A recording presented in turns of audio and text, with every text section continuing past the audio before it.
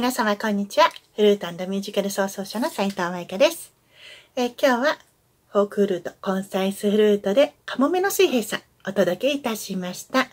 えー、昨日はね、いろりのコンサートいらしてくださった皆様、本当にありがとうございます。ライブ配信ご覧いただきました皆様、ありがとうございます。えー、ライブ配信の方はね、また水曜日の夕方5時から来月8月21日の夕方5時まで、えー、たっぷり1ヶ月間 お楽しみいただけるので、一部二部を見ていただいて、えっ、と、いろんな起きていたハプニングを見直していただくのもよし、え音楽を純粋に楽しんでいただくもよし、えっ、と、なんだろう、一部しか見れなかったよ、二部しか見れなかったよ。だけど、えっ、と、まあ、続けてちょっと見てみようかなっていう、はい、えっ、ー、と、見方もできるので、えっ、ー、とね、当日ね、じっくり見れなかったよという方は、ぜひライブ配信でお好きなところを見返してください。はい、できれば優しい心で 優しい心と耳で聞いていただければと思います。はい、えっ、ー、と、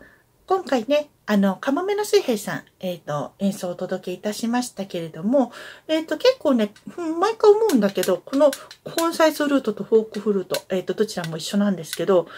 キーがね、結構硬いんですよ。そしてバネの力が強いので、タータララララララララって言って、いつものモダンフルートの感じでやるともうね、毎回小指がはぎちぎ飛ばされちゃうんだけど、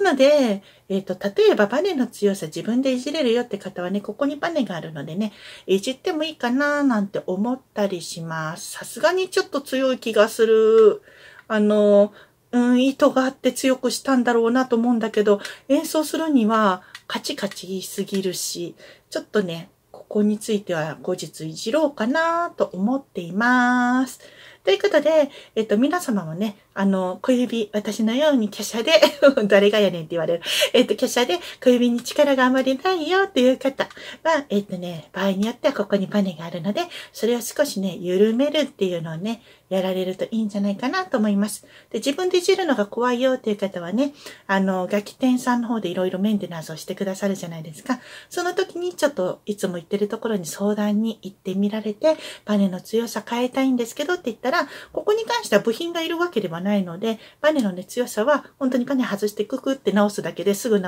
るので、はい、あの、相談したらいいよって言ってくださるね、リペアマンさんの方が多いと思います。なのでね、ぜひ、あの、自分に合う強さにしていただいたらいいんじゃないかなと思います。それでは皆様、またね。